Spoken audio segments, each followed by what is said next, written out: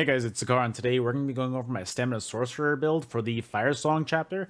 Before we get started, if you're not subscribed to the channel, please do so. We just passed 3,000 subs, and I wanted to start making our way to that 4K mark, so if you don't mind, I would really appreciate it. But I've, I've been really enjoying this build a lot in PvP. It's a lot of fun. Uh, it's not the most practical thing in the world, but honestly, the fun I've had on this thing is so worth it and I definitely recommend it if you just want to try something new and just really enjoy yourself while PvPing. So guys, without further ado, let's get on with the video.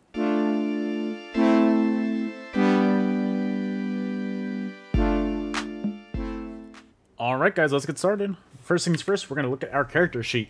We're going to be an Imperial on our Stamsorc. I really like Imperial as the class for this because of the reduced cost passive that you get from it. That way, it's really going to help your sustain a lot. So I really like Imperial for this. Uh, you really don't need sustain on a Stamsorc besides that because of your Dark Deal and stuff like that. So doing this is probably the best race that you can go for this build. Uh, also, probably Khajiit would be a good build as well, but I just have this as Imperial already, so I'm just going to stick with that. So if you if you do not have Imperial, I will probably go Khajiit on this character. Our attributes are going to break down like this. 59 points into stamina and then 5 points into health to give us a nice 31k max health pool and a 25.6k max stamina pool. And then also your max magic is 16.8, so that's pretty damn high, I gotta say. Our Mundus is going to be the lady to help our resistances. We've got enough damage on this build. We've got enough healing on this build. We're slightly squishy when we don't have this on, so this really helps out a lot, and I definitely recommend using this.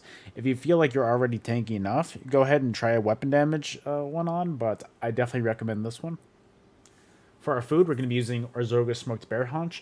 This is going to help with our max health and our sustain. This is going to help our, uh, give us max health of 4,300.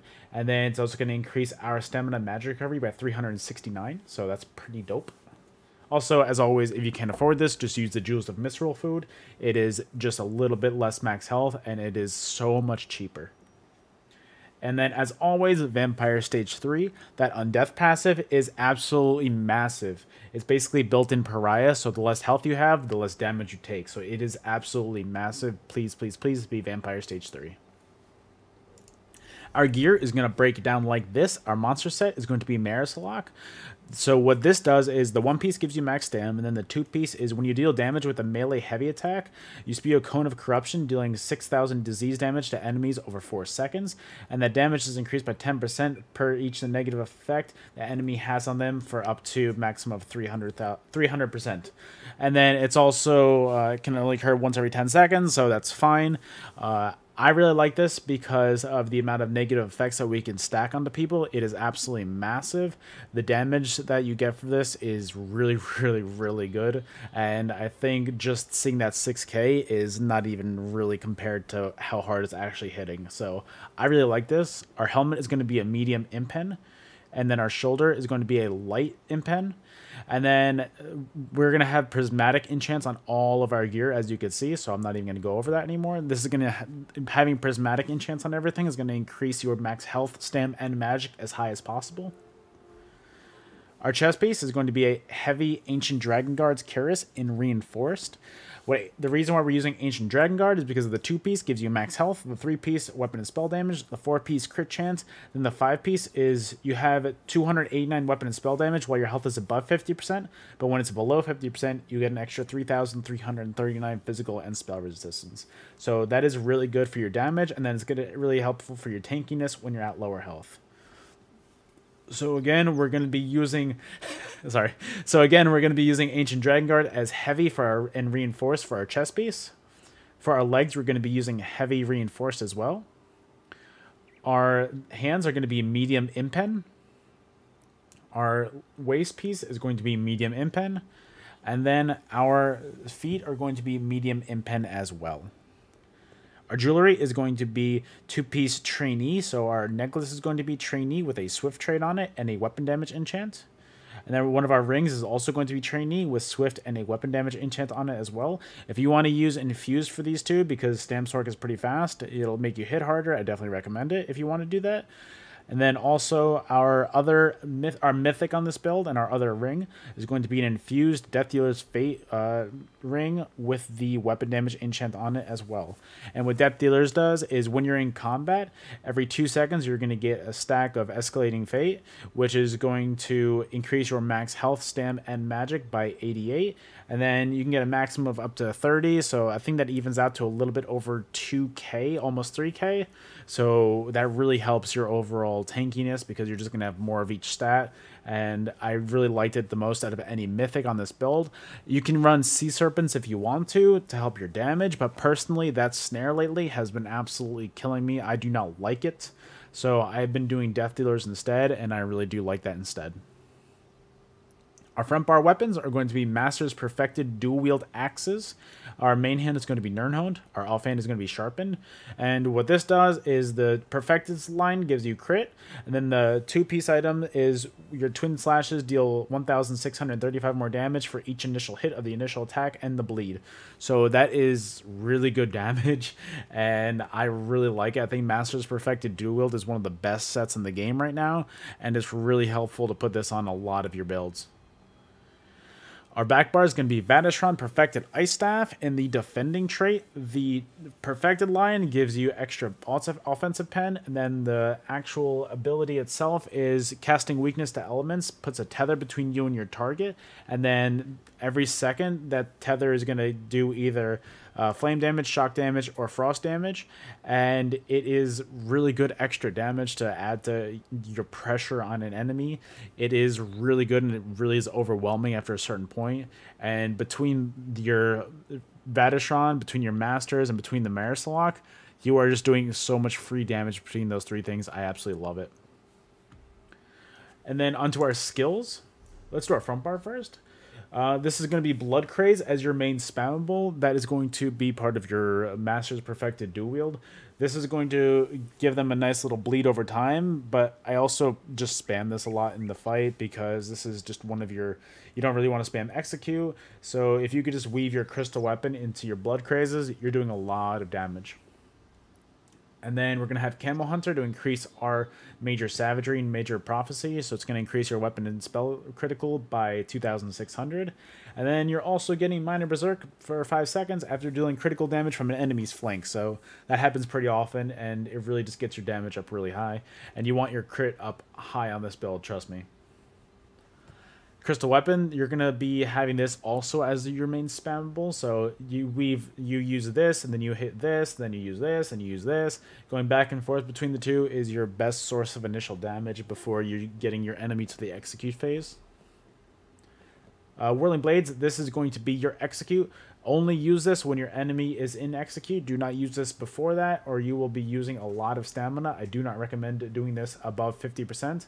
I usually start doing Whirling Blades at about 30%. That way you really finish that kill off properly. And then our last ability on our front bar is going to be Streak.